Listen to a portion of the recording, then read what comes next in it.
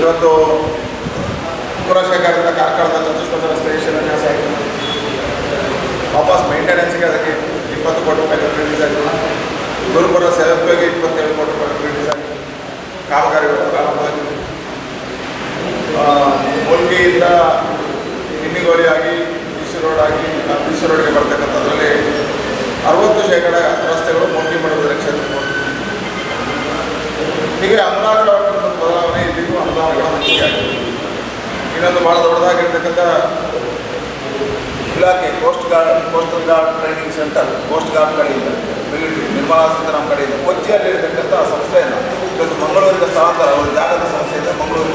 ಅಲ್ಲಿ ಜಾಗ ಕೊಟ್ಟಿರೋ ಕೇರಳ ಸರ್ಕಾರ ಅದಕ್ಕೆ ಹೋಗುತ್ತೆ. ಇವತ್ತು ಈ ಕ್ಷೇತ್ರಕ್ಕೆ ಮುಲ್ಕಿ ಮಾಡುವ ಕ್ಷೇತ್ರಕ್ಕೆ ಅದು ಬರಲಿಕ್ಕಿದೆ.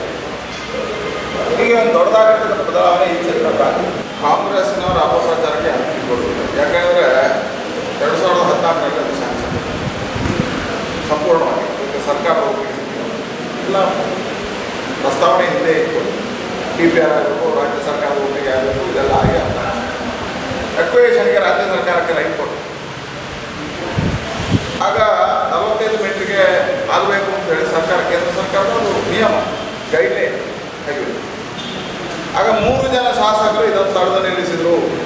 ಹಾಗಾಗಿ ಈ ಕಾರ್ಯ ನಿಲ್ಲಕ್ಕೆ ಕಾರಣ ಮುಲ್ಕಿ ಮೂಡಬಿದ್ರೆ ಕ್ಷೇತ್ರದ ಅಭಯಚಂದ್ರ ಮಂಗಳೂರು ದಕ್ಷಿಣದ ಲೋಗು ಮತ್ತು ಈ ಜಿಲ್ಲೆಯ ಉಸ್ತುವಾರಿ ಸಚಿವರು ತಗೊಂಡಿರ್ತಕ್ಕಂಥ ರಮಣಾಥ್ ರೈ ಆಗ ಈ ಕಾರ್ಯ ಎಲ್ಲಿಯಾದರೂ ನಿಂತಿದ್ರೆ ಈ ಮೂವರ ಕಾರಣಕ್ಕೋಸ್ಕರ ಈ ಜಿಲ್ಲೆಗೆ ಅನ್ಯಾಯ ಮಾಡಿದವರು. ಬಡವರು ಸಾಯ್ತಾ ಇದ್ದಾರೆ. ಮಧ್ಯಮ ವರ್ಗದವರು ಸಾಯ್ತಾ ಇದ್ದಾರೆ.